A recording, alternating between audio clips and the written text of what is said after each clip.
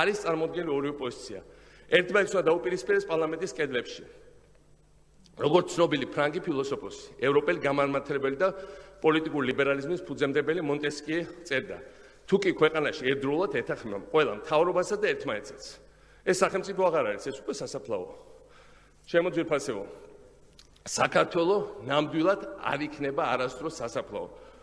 ეს ჩვენი ქვეყანა არის სიცოცხლის სავსე ადგილი. სადაც ყველა საკუთარი აზრის და კრიტიკის გამოთქმის არა მარტო უფლება, არამედ ძლიერინებაც.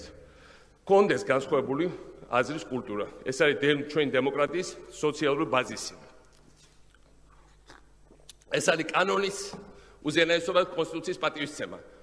ეს ორი პრინციპი საქართველოს კონსტიტუცია დემოკრატიას ასევე განსაზღვრავს როგორც ნებისმიერ დემოკრატიას სოფლიოში.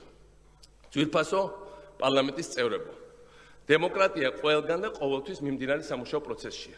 და ახლა ჩვენ ქვეყანაში დემოკრატიის განვითარებისთვის ნიშნულოვანი დრო მოდის. ჩვენ უნდა მივისწრაფოდეთ პარლამენტის გადაწყვეტილების მიღების დეცენტრალიზაციისკენ. რათა უფრო მეტ მოქალაქეს ხოდეს პირდაპირ გავლენა ამ გადაწყვეტილებებზე. აი რომ შემოვიდი, გარეთ იყო მიტინგები ორივე მხარის წარმომადგენლები. ესე მოხდება, ჩვენ მათ ხმას გავიგებთ.